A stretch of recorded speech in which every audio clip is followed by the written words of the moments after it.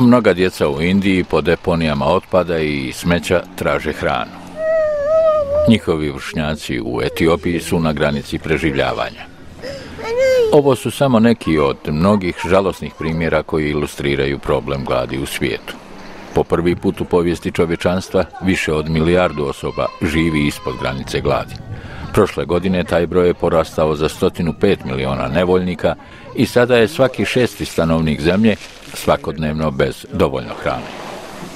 Avinaš Kumar, predstavnik britanske humanitarne organizacije Oxfam za Indiju, ističe da se problem nedostatka hrane stalno uvećava u posljednjih 10-15 godina. U Indiji 47% djece je neuhranjeno. To je više od jedne trećine ukupno gladnih u svijetu. Prema izvještaju Ujedinjenih naroda, Azija i zemlje Pacifičkog regiona imaju i najviše gladnih, 642 miliona, a zatim zemlje subsaharske Afrike, 256 miliona. Subsaharske države teško su pogođene visokim cijenama hrane i energije te ekonomskom recesijom.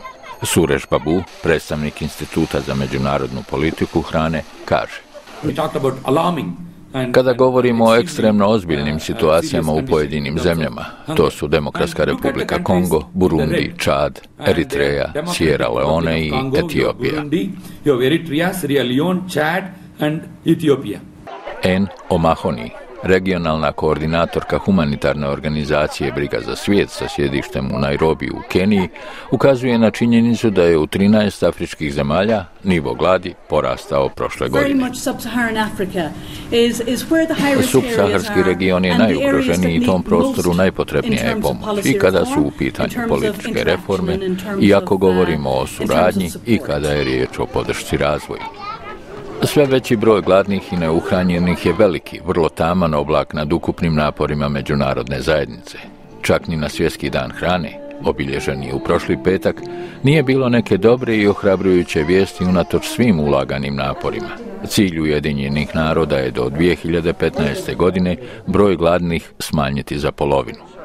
Da bi to bilo ostvareno, stručnjaci ukazuju da su mnogo, mnogo veće investicije u poljoprivredu neophodne. Inače, svjetska proizvodnja hrane morala bi biti povećana za 70 procenata, da bi svih 9 milijardi ljudi, koliko se predviđa da će ih živjeti na zemlji 2050. godine, imali šta i dovoljno da jedu.